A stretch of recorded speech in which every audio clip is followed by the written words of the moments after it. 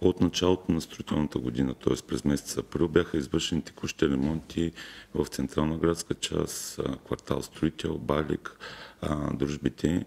От тази седмица започват и такива ремонти в квартал Добротица.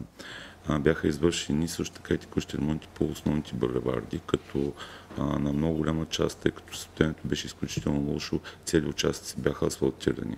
Успорно с това вървят и основните ремонти по инвестиционния кредит, който община град Добрич изтегли, а именно улица Каменица, Боряна и Бойчо Огнянов са завършени. В момента се изпълняват улица Емона, Ясна поляна и улица Цар Освободител.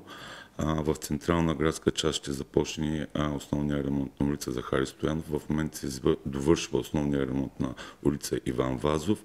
След Захари Стоянов генерал Колев, Райко Дъскалов, Райко Цончев, Капитан Андреев, Майор Викилски, Ален Мак. Това са улиците, които в средносрочен план ще започнат дейностите по тях по основния ремонт.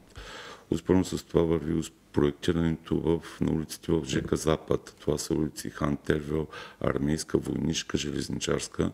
Там основният проблем е в подземната инфраструктура, тъй като голяма част водопроводите са в изключително лошо, дори бих казал, ароматизирано състояние. Така че и за там трябва да бъдат предвидени доста средства при извършването на асфалтирането на тези улици. Също като цяло бих споменал и улица Вардър, където също сме предприели действия за подмяна на водопровода като проектиране, за да знаем какво е устойностяването.